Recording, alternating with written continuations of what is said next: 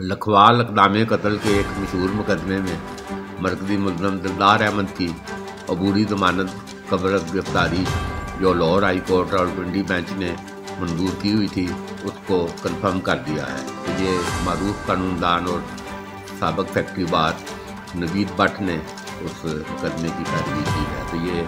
लखवाल अकदाम कत्ल के मुलम की ये अबूरी जमानत लाहौर हाई कोर्ट ने कन्फर्म कर दी है।